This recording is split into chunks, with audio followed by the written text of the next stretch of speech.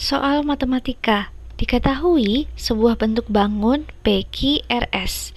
Nah, pada gambar di atas ditanyakan sudut SPR. SPR adalah tersedia beberapa pilihan jawaban. A 45 derajat, B 40 derajat, C 35 derajat, D 30 derajat. Nah, cara menjawabnya yaitu untuk mencari sudut SPR, yaitu ini, kita perlu melihat SPR ini sebagai sebuah bentuk segitiga.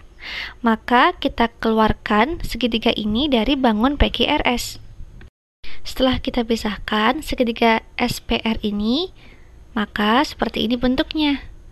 Nah, kita perlu mencari sudut SPR kita bisa lihat bahwa ini adalah bentuk segitiga.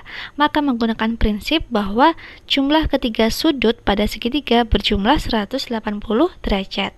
Maka mencari sudut SPR caranya Sudut SPR sama dengan 180 derajat dikurangi sudut PRS ditambah sudut RSP atau sudut-sudut yang sudah diketahui.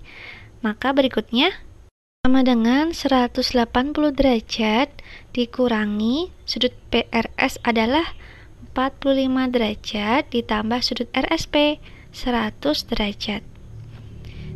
Kita jumlahkan dulu 45 ditambah 100 yaitu 145 derajat. Maka 180 derajat dikurangi 145 hasilnya adalah 10 kurangi 5 adalah 5 sisa 7 7 kurangi 4 adalah 3 hasilnya adalah 35 derajat. Yuk kita cari tahu jawabannya. Sudut SPR sama dengan 35 derajat. Yang betul adalah pilihan jawaban C.